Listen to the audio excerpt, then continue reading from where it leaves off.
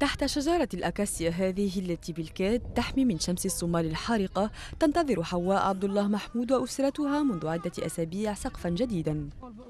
رحلنا بسبب المعارك المتواصلة في دوسماريب لقد كنا في أمان نسبي بالمنزل ولكن لم يعد بإمكاننا البقاء في المدينة واضطررنا إلى الهرب.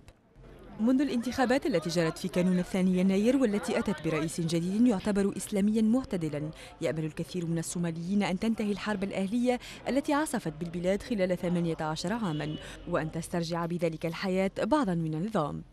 منذ بضعة أشهر وذاك عدد أقل من مصابي الحرب ولكن في الميدان تتواصل المعارك بانتظام إن كانت محلية أو عامة أو جهوية لا تزال مستمرة.